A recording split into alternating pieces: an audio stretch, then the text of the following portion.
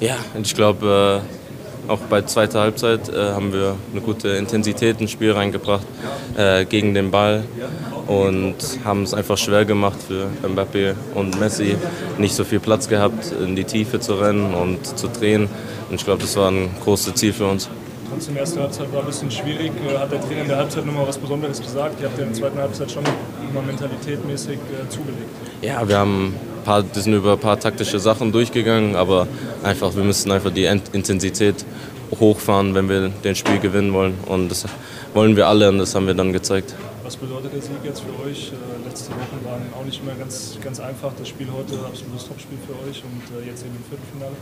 Ja, wir lassen das jetzt nicht zu unserem Kopf zu groß äh, gehen. Wir müssen jetzt einfach weiter in die Bundesliga gehen und jedes Spiel einfach immer den Performance zeigen. Wir wissen, was für Qualität wir haben und was wir zeigen können. Wir müssen das jetzt einfach Week by Week zeigen. Habt ihr das noch gefeiert eben in der Kabine?